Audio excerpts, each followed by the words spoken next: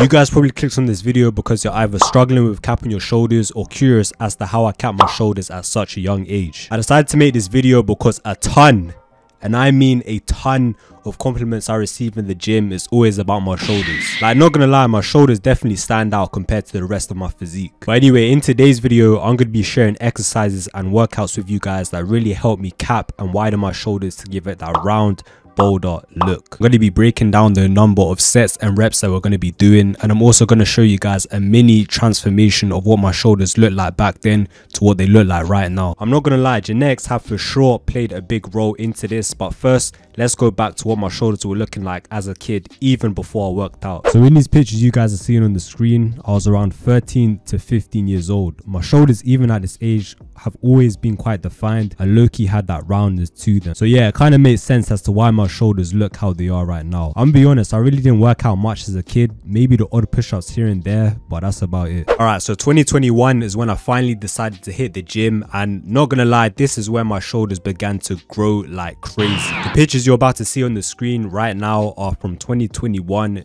to 2023 right now. As you guys can see, my shoulders have progressed massively. They packed on size, they've got that 3D round boulder look to them as well, and they also look a lot wider. Now let's get into the workout and exercises that really help me pack on size, widen, and cap my shoulders. The two main isolation exercises that personally helped me grow my shoulders were side lateral raises and face pulls. But hold on, what about the front head of the shoulders? For me personally, I've never really done direct isolation exercises for the front delt of my shoulders shoulders as they've already been overworked and well stimulated from dips, bench press and shoulder press. I'm not saying to completely neglect the front delts, but they're definitely not as important as the side or rear delts. I've noticed that a lot of people have developed front delts but underdeveloped rear and side delts. Side lateral raises are going to help widen and round our shoulders and face pulls are going to make our shoulders pop from behind and give our shoulders an overall fullness. I've noticed that a lot of people neglect their rear delts which I think is a big mistake. The reason being is that this can cause bad posture and stability issues in our shoulders. But anyway now let's let's finally move on to the actual workout. Our side and rear delts are going to respond and stimulate best the high intensity and high volume work. The key here is to pumping as much blood to the muscle. We can achieve this with high rep work ranging from 12 to 25 reps and a total of 4 to 5 sets. Drop sets as well are for sure going to be our best friend. We're going to incorporate drop sets on our last set and we're going to drop set for a number of 3 to 4 times. Right, so you guys can either do this standing up or sitting down. Standing up is going to be a bit more challenging as you're engaging your core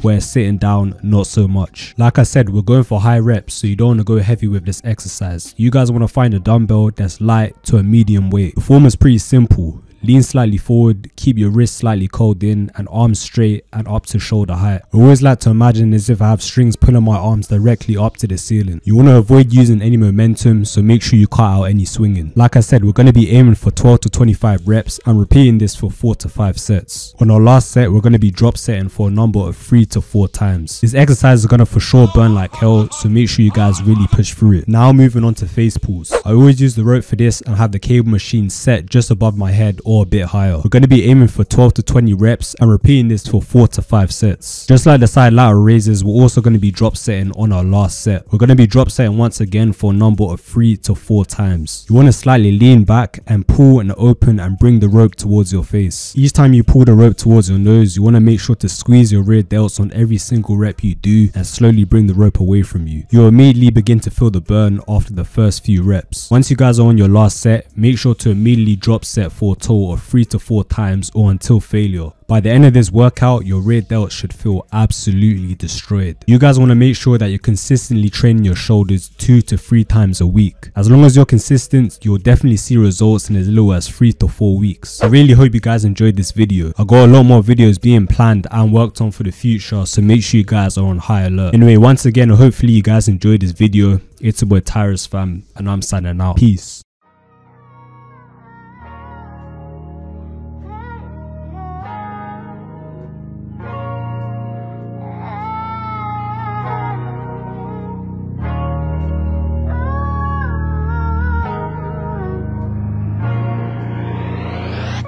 I knew how to stack my peas when shit was slow. Common sense when my niggas pop balls, fam, I didn't go. I had D's in the bush on a lonely strip. All I ever wanted was a phone that ripped. Told, told, told them niggas on the block I'm gonna blow. Started rapping, or else will I wish I put this dough. Uh.